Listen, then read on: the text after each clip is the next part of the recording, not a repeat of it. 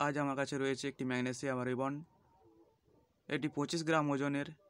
এই ম্যাগনেসিয়াম রিবনটা থেকে আমরা কিছুটা ম্যাগনেসিয়াম রিবন কেটে নেব এবং তারপর এটাকে আমরা জ্বালিয়ে দেখব কেমনভাবে জ্বলে।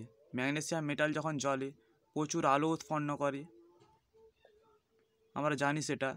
তো চলুন আজকের ভিডিওতে আমরা সেটাই দেখে নিই, ম্যাগনেসিয়াম রেবন যখন জলে ঠিক কতটা আলো উৎপন্ন করে।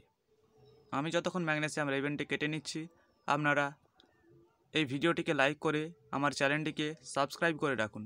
এরকম আরও নতুন নতুন ভিডিও দেখার জন্য আমাদের চ্যানেলটির সদস্য হয়ে থাকুন। ম্যাগনেসিয়াম রেবনটাকে কাটার জন্য একটি কাতুরি ব্যবহার করব এবং এই ম্যাগনেসিয়াম রেবনটিকে কেটে নেওয়ার পর এটিকে সোজা করে নেব যাতে আমাদের জ্বালাতে সুবিধা হয়। তো চলুন, আমরা ম্যাগনেসিয়াম রেবেনটিকে সোজা করে নিই। আপনারা দেখতেই পাচ্ছেন এই ম্যাগনেসিয়াম রেবেনটা অনেকটাই লম্বা। এটাকে আমাদেরকে প্রথমে ভালো করে সোজা করে নিতে হবে।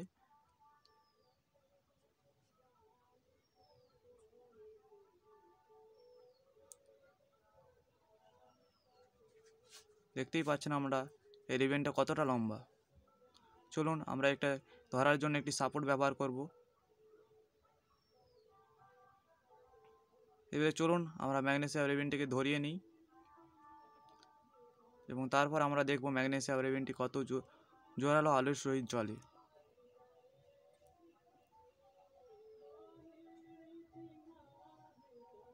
এটা প্রচুর লম্বা, তাই এটা আমাদের দুলছে।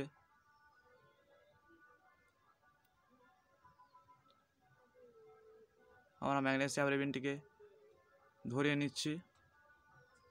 গ্যাস টর্চের সাহায্যে।